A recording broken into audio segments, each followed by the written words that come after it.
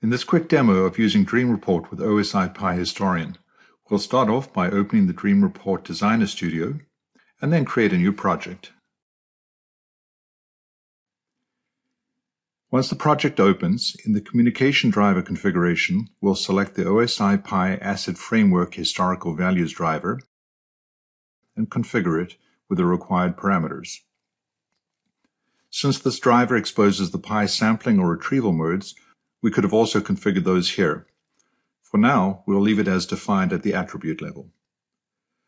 Note that we also have drivers for Asset Framework real-time values and traditional OSI Pi access for non-Asset Framework configurations. Next, we'll create a new report and add a few reporting objects.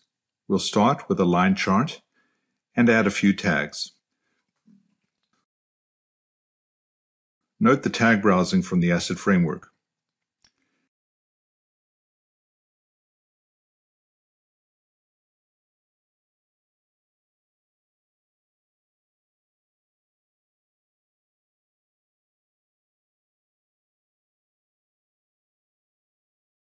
Now let's summarize a set of pi tags using the automatic statistical table. Again, we'll browse for the tags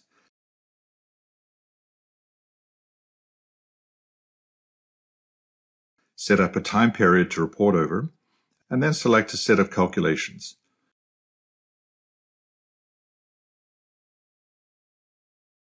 We won't spend much time formatting in this quick example.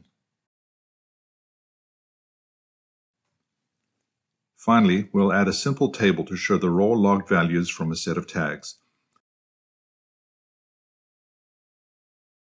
We could change column captions and do additional formatting if needed.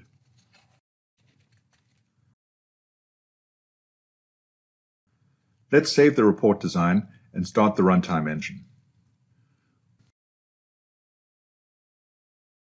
Now that that's done, let's open the portal and we can select the report and generate it. Of course, this report could be scheduled to run on any schedule or be triggered automatically on an event, such as at the end of a batch. So here's the report output. Since the Pi historian hasn't been running for long, we see a gap of data here, so I probably should have chosen a different date range.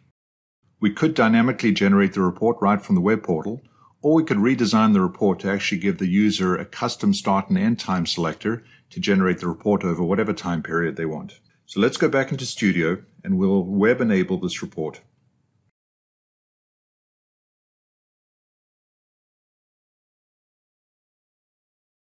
We can place our own date and time pickers for the start and the end times.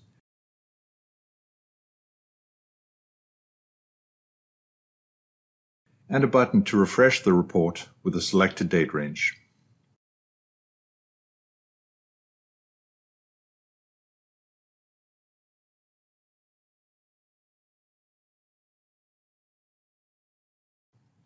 Right, so let's save this and reload the report and go back to the web portal. Once we're in the web portal, we'll open the web version of the report, set a date range using these custom date and time pickers we added,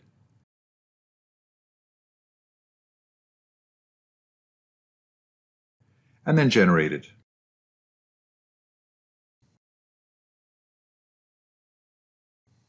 We can also click on the trend to view or export the raw data from Pi. Thanks for watching.